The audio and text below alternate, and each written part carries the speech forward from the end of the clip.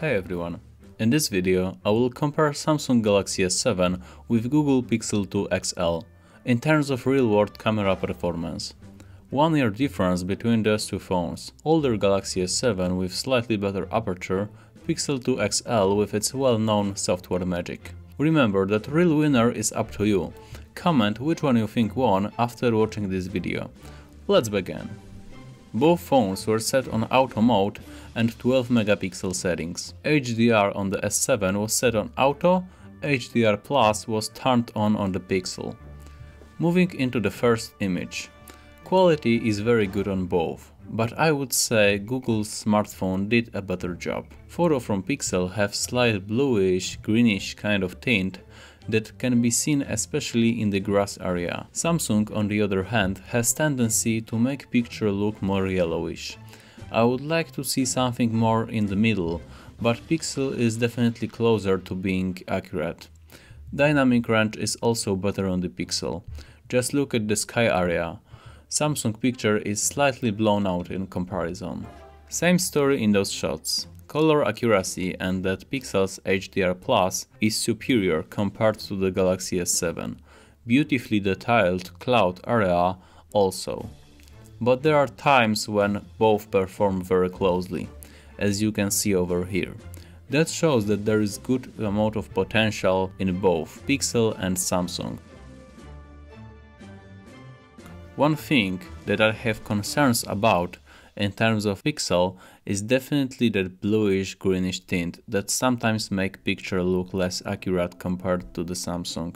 And for example, in this one, we can see that grass area in Pixel is slightly off in colors department again, this time with reddish tint. That said, it happens rarely, and I would still say Pixel 2 XL is definitely better in color accuracy.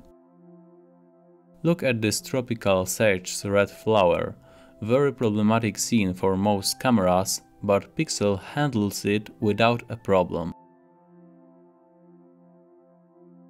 Samsung is no slouch when it comes to the dynamic range, but indeed, it's Google's strong side. It handles sun extremely well. Now let's compare level of detail on both. First image in magnification greatly emphasized biggest difference between those two. That is, Samsung uses more aggressive digital sharpening, providing smaller amount of real detail and less depth than the Pixel. Difference may not be night and day, but it's still there. That said, some of you may prefer having the digital sharpening effect. Maybe macro pictures may look more appealing for some, but I find it especially unwanted and disturbing in landscapes that make photos have that unnatural look.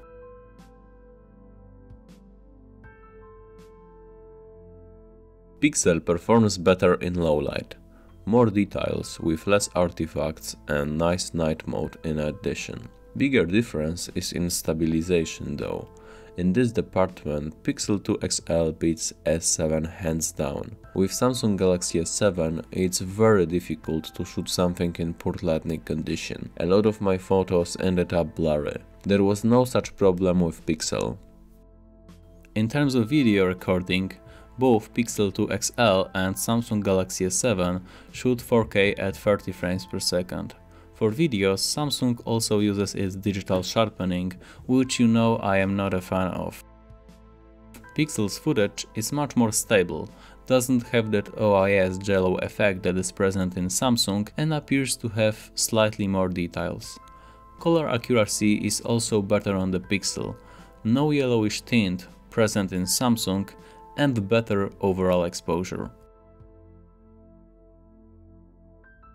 On the flip side, Pixel is prone to show more sun reflection and a bit more grain in moving scenes, which may be caused by either bitrate or electronic image stabilization algorithm.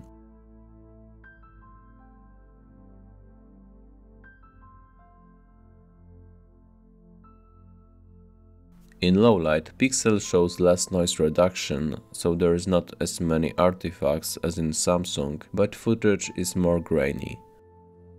With that being said, there is more detail preserved and clearly much more things visible in the pixels footage.